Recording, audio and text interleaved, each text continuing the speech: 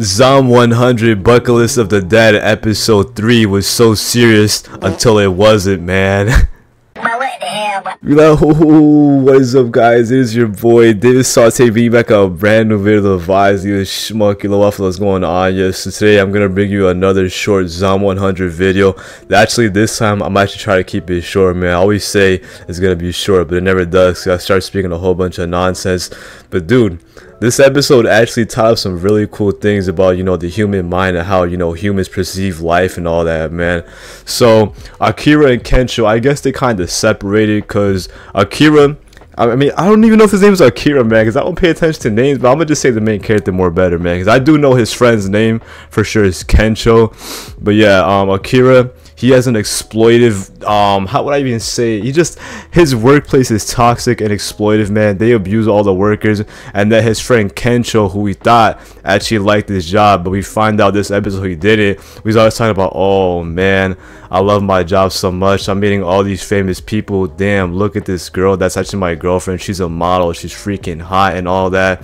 But then later on when freaking akira goes to save kencho man this man akira i don't know how he did it man this guy got hops, bro. He literally jumped across the building. I mean, he did get hurt, but he still survived it nonetheless, man. But then his friend Kencho was like, bro, I can't do it, man. I can't jump. But since I'm probably gonna die right now, man, let me tell you one thing. Every single thing I told you about my job was a lie. I met all these famous people, athletes, politicians, dated all the hottest girls. But dude, I was not happy at my job. I was putting on a fake smile so you guys wouldn't know. And then Akira was like, it's okay, man. We know you. You're one of the people that, you know, you put your sadness away and try to put a smile on everybody else because you care about everyone, you know? And then I guess that woke up son in Kencho. He's like, you know what? Okay. I'm gonna become because he was actually talking about he wants to be like I think he said he wants to be like a stand-up comedian. He didn't want to do his job no more because he didn't actually enjoy it for real, for real. So and then Akira woke Son up in Kencho was like, you know what? I think I am gonna quit my job today. I'm gonna be a stand-up comedian. And then he actually got the balls to jump across the building. But this is where the episode just gets stupid, man. I thought it was gonna be like a serious scene. He had like, you know, sad music playing in the background. And then when the man jumped, his clothes just magically fall off and dude he was butt naked and shit man. His cock was literally slinging around ass cheeks exposed man. Like dude even during a zombie apocalypse what are you doing man? That's nasty man. There's literally so many dead bodies in the ground. Like what if your balls touches somebody's dead grandma on the ground? You're probably gonna get like a freaking disease man. But yeah, he freaking jumped. But bro, he did not make it. I mean, he did survive the jump, but he didn't make it like you know fully across like Akira. And he was you know hanging out like, oh no, I'm gonna die.